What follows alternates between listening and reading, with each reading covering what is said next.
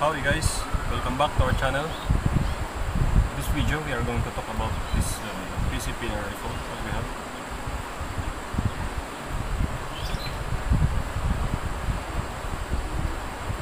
Okay, this PCP rifle is a uh, product of our um, kababayans na mga maker ng PCP rifle dito sa Pinas.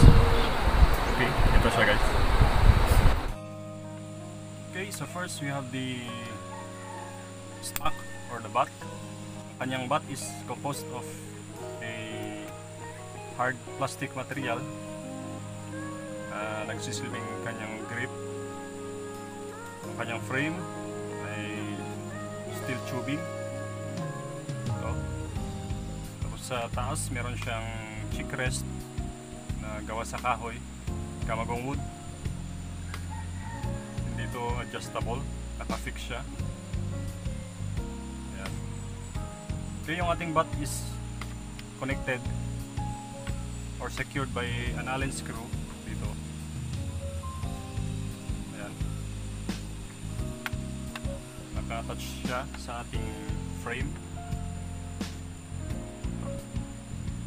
Okay. So yan yung kanyang stock or butt tactical foldable butt.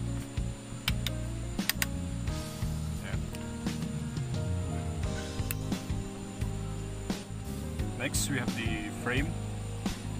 Yung frame niya is gawa sa T6 aluminum. Ito. It housed our trigger and firing mechanism.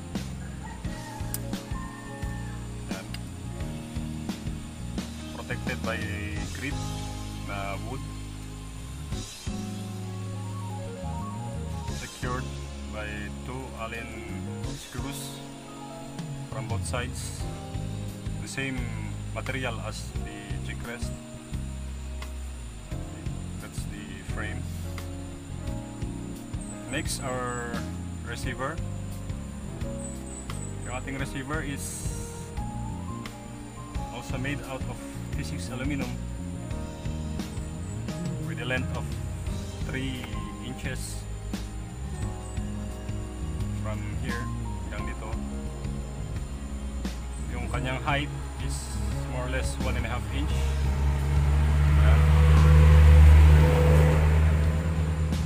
We have the loading mechanism. Yung ating loading mechanism is swing type design. Yan. I-open mo lagay mo yung bala. And close. Ready to fire. We have the hammer. Yung kanyang hammer ay gawa sa stainless steel. Ito. It has single cock mechanism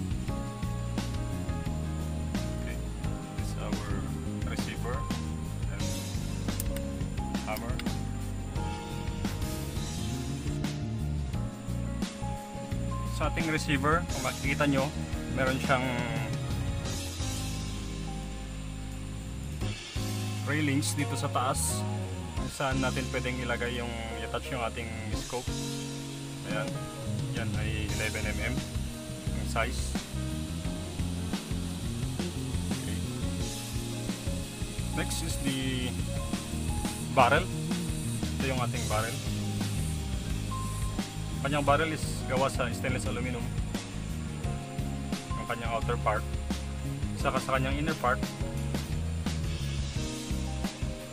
Ay gawa sa brass metal. Ayan. okay so yung length ng ating barrel is 17 inch. Ang haba.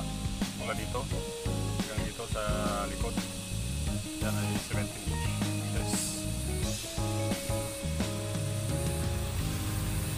sa ibabaw ng kanyang barrel guys ay meron din siyang naka-install or meron din siyang scope railings na nakalagay. Ayan. That is also 11mm scope railing. Okay. so you have two options. Uh, pwede mong ilagay dito yung scope mo. Pwede mo rin mount dito sa kanyang receiver.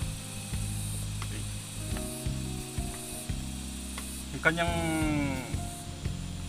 barrel is meron siyang rifling. Binilang ko yung kanyang group. Ah, nahilo ako. minsan 8, minsan 10. Pero sure ko parang 10, 10 yata yun. Okay, yan yung ating barrel. Next guys is high pressure air reservoir. Ito, sa baba. Yung kanyang reservoir ay gawa sa stainless steel. The length is uh, 11 more or less 11 inches ang haba na dito hanggang dito. Okay. Diameter is 1 and uh, 1 4 inch kanyang diameter. Yan. Okay, maximum capacity of this uh, reservoir is 3,500 psi. Yan yung kanyang capacity. Sa kanyang baba, kikita mo yung kanyang gauge. Okay, yan yung ating gauge. Yung install gauge niya is uh, meron siyang 500 5,000 psi na maximum reading. Yan.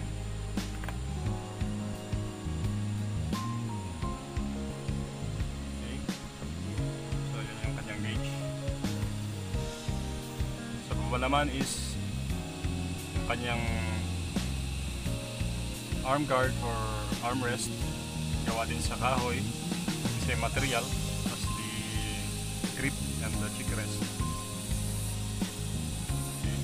Secured by an allen screw. Isa lang. And on the side makikita mo ito yung kanyang inlet. Yung kanyang inlet is gawa sa brass metal. Yan, yung kung saan natin inilalagay ay kinoconnect yung ating PCB pump. Okay that is our inlet. Okay. This PCB is an unregulated PCB wala siyang regulator. Kanyang output according to the maker is 2000 psi output. Okay. Okay guys so that's our PCB so masasabi ko dito is